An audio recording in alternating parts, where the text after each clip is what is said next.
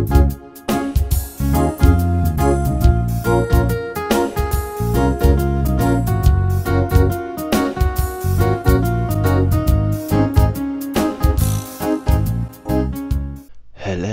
and welcome to the first episode of IR's Animal Planet. On this episode, we have caretaker epherlumps, contraband camels, misleading meerkats, and pothead penguins. Caretaker epherlumps. Caretaker epherlumps have been used for street cleaning in many cultures for thousands of years. What attracts people to the caretaker epherlumps over the common elephant is their ability to clean up after themselves. They gather up rubbish from the floor and clean the streets, but their main selling point is once they have collected enough rubbish, they then eat it.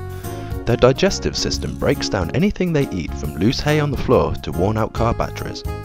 The waste comes out in cupcake form, so you often see children waiting around behind the epherlumps for the tasty treats to pop out of the epherlumps anus.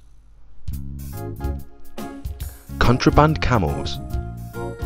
Contraband camels have been used for drug smuggling ever since drugs were invented in 2010.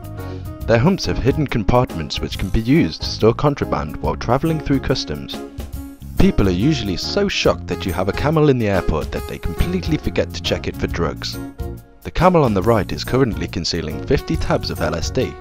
Unfortunately for poor Humphrey, the owner forgot to bag up his goods and now Humphrey will be tripping balls for 24 to 48 hours the penguins. Commonly known as penguins, the Jamaican penguin is a totally different species. Unlike penguins, penguins originate from Jamaica where there is no ice. To control their body temperatures, they often smoke blunts and relax in the swimming pool. Misleading meerkats. I went to see the meerkats to see if I could get a cheaper rate on my car insurance. None of them seemed to speak any English.